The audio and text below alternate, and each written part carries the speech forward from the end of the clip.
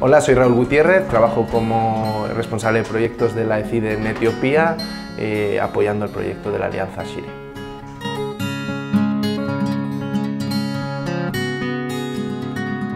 Bueno, en mi caso he desarrollado eh,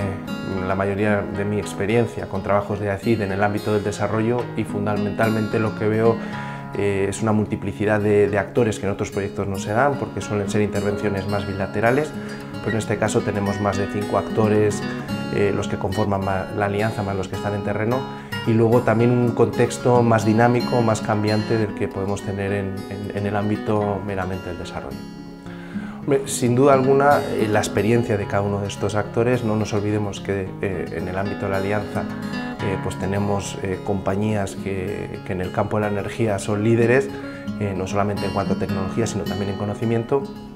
Y luego también la participación de la universidad, Que, no solamente se limita al hecho de extraer conocimiento, sino también de aplicarlo a través de estas empresas eh, que se apoyan también lógicamente en la Agencia Española de Cooperación que tiene esa, ese expertise ¿no? tanto en desarrollo como en el ámbito humanitario. Yo creo que, que todos ponemos ese granito de arena que hace la diferenciación o el valor agregado a este proyecto.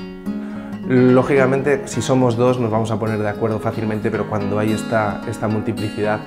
pues a veces es, es, difícil ponernos de acuerdo, pero eh, yo creo que en este sentido se han establecido muy claras las metas desde el principio del proyecto y todos sabemos hacia dónde ir. No obstante, en este camino largo ¿no? de, ejecución del proyecto, pues siempre hay discrepancias, siempre hay cosas que se pueden mejorar,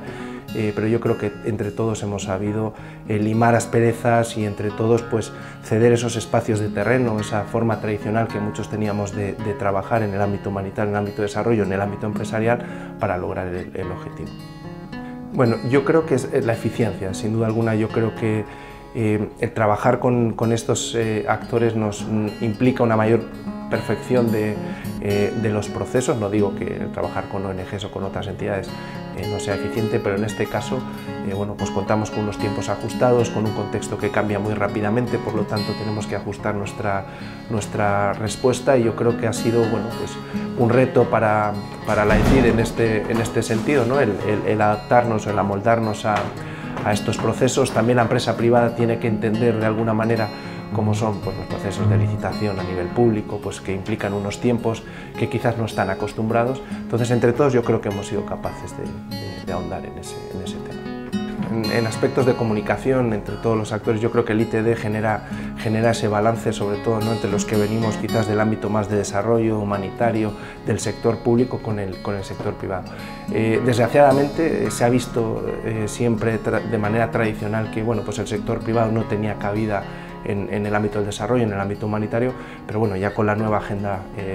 2030 eh, pues ya hemos visto que esto ha cambiado, este enfoque ha cambiado y yo creo que el ITD es el que está eh, metiendo estas píldoras, ¿no? que, le, que, llamáis estas píldoras ODS en todos los actores, intentando pues eso, eh, facilitar que los procesos desde el ámbito público no se alarguen, no se alarguen tanto y que también el, el sector privado adquiera esa sensibilidad ¿no? a la hora de intervenir en el ámbito humanitario de desarrollo. Eh, yo creo que nos movemos en, el famoso eh, triple nexus de paz, humanitaria y, desarrollo. Yo creo que la Alianza SIRE va más allá de la mera intervención de emergencia o de humanitaria, eh, buscando esas soluciones a largo plazo, observando el, campo de refugiados como un settlement o una ciudad más sostenible donde se pueda proveer servicios de manera más continua y sostenible a los habitantes. Ya no hablo de refugiados o, o de desplazados, hablo de de habitantes. Y yo creo que eso es la, lección que nos puede quedar de extender ese modelo de, ciudad o de asentamiento sostenible al resto de, de asentamientos de desplazados o de refugiados en el resto